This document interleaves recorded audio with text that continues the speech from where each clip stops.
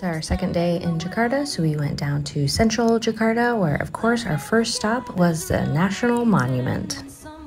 We explored the square, the museum underneath, and of course, went to the top of the monument where we had amazing views of the Jakarta skyline. It was such a beautiful, clear day, we could see so much of the city. And my daughter took time to sing one of the songs she learned for Indonesian Independence Day. We then took a horse drawn carriage over to Indonesia's National History Museum, where we had such a great time exploring the different galleries and exhibits at the museum. We then took another taxi way across town to something my daughter was very much looking forward to. It was the Miss Unicorn Cafe. This entire two story cafe is themed with rainbows and My Little Ponies and unicorns.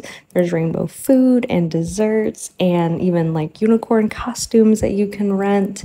And we had such a fun time exploring and playing at this cafe. With another long taxi ride back to our apartment in West Jakarta, we then took some time to rest and enjoy the pool at the apartment complex. And then we finished up our day at another mall in West Jakarta, the Central Park Mall. So much fun. Can't wait for another fun day tomorrow.